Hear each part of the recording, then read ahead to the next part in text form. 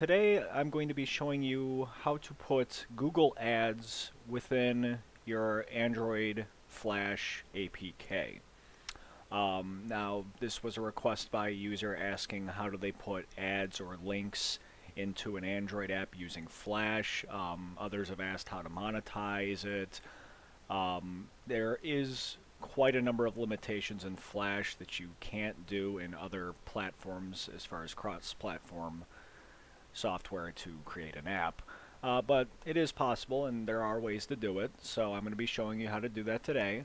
Um, this is under the assumption that you already have Google AdSense and also that you have some somewhere to host a web page to display those ads. Let me see if I can find an example real quick.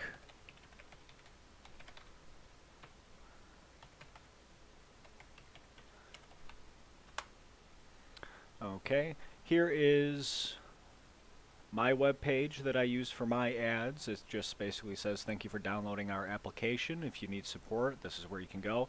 And it displays two Google Ads. Now, I'm going to show you how to open this within your Flash app. Uh, this does use a little bit of advanced coding, so I will I will post as much information as I can in the description below. Um, but let's begin. Also, this FLA file will be there for download as well. Um, just showing you what we worked on so far. The first tutorial I showed you how to create a click and drag game. And the second tutorial I showed you how to add an exit button, which still works, okay? So we're in good shape. Um, so generally speaking, you want to put the ads at the beginning or end of the application. We're going to do this at the start of it. So for that, we're actually going to create another scene. So to add another scene and be able to set up the order, we're going to go we're going to go to Window, Other Panels, Scene. And this should pop up. So file, no, do, do, do, insert scene, scene 2. Let's just call that ads.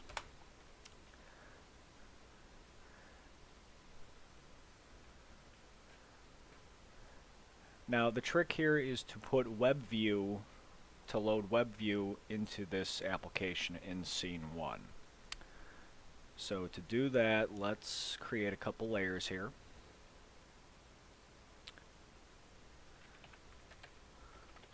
Just call this code, first layer.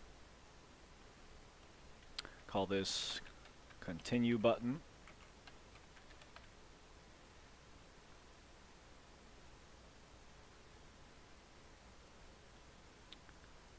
And let's make another frame. Select these three layers, hit F6. Okay. So assuming we're going to be displaying a web page here with Google Ads, you want a continue button. So let's create a quick continue button. Uh, let's make it a square.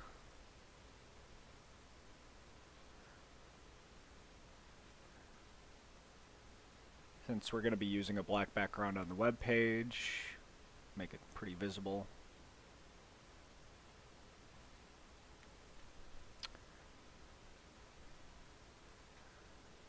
Okay, go to your selection tool. Select the, the rectangle or your new button. Convert to symbol. Call it continue. Now that it's a symbol, double click inside of it. Uh, let's put some text in there, just so people know what the heck it is for.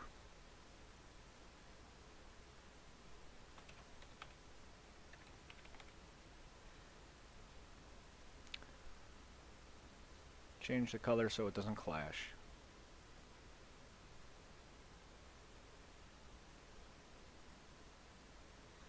Okay. Go back to the ad scene. Okay, so now that we have our button created, select it, go to code snippets, click and go to web page.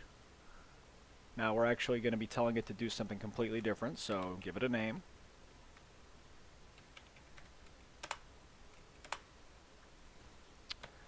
Oh, something's already got that name. Okay, continue to. Or next button. Okay, so the code pops up. Navigate to URL, take that line out, and we're going to tell it to go to the next frame. And I will explain here in a second. Next frame is frame 2.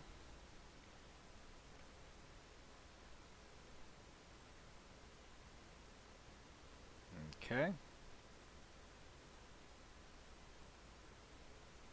Okay, just to describe what we're doing here. Application loads up. From here up, it'll load Google Ads. It'll actually load a web page when we're done.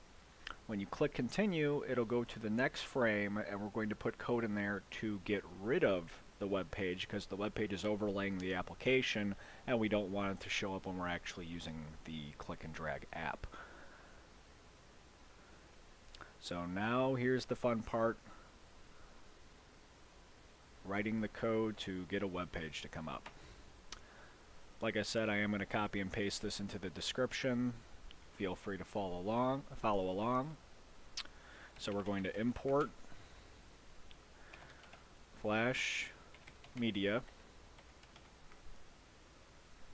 dot stage view stage web view sorry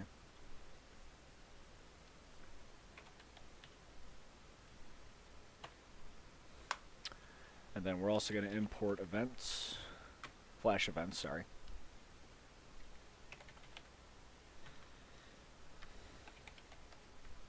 Events, I think it's a cap. Event. Well, no, that doesn't matter. Okay. Create a variable.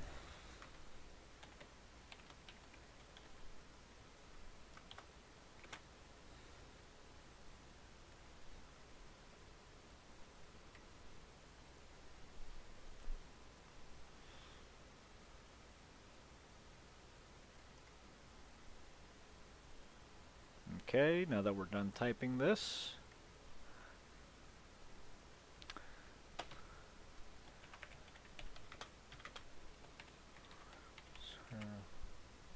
window.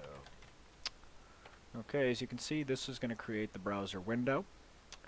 This is going to go to that website that I showed you. And let me just see how big this is. Okay, 550 by 400. So we're going to put the 550 parameter. And since it's 400, let's do 350. That way the button has room to show up. And also as the stage background, we want it to match the website. Now before we test this, we need to put a stop in here.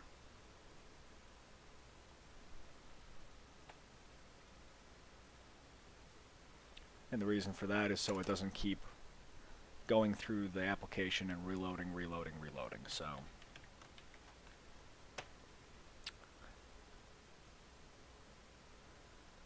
Okay. Let's give it a shot.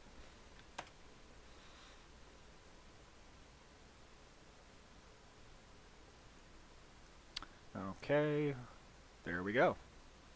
Obviously we need to adjust this a little bit so the button is more center and is in view. Click it and as you can see our application shows up right behind the web view. So now we have to write the code to get rid of the web view when we click continue. So let's go into the code here. F9.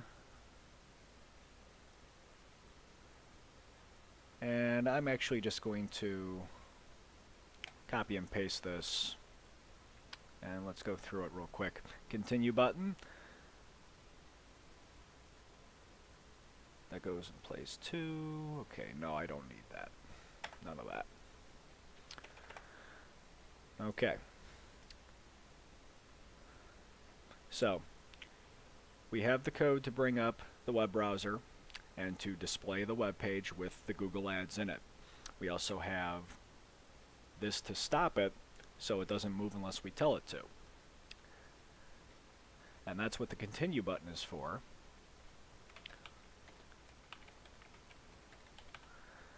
So when I click the continue button, it goes to frame 2 and executes this little code here, WebView dispose, closes the browser window with ads and continues on. So now when I run it, first of all let's save.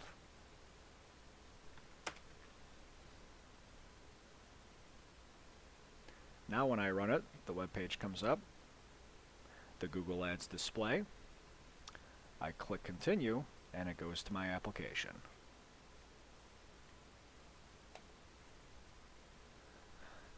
And that's it. I know this is a little confusing, so if you have any questions, comments, or concerns, please post them below. Um, as I said, I will post this code in the description, and also you can view it in the FLA file.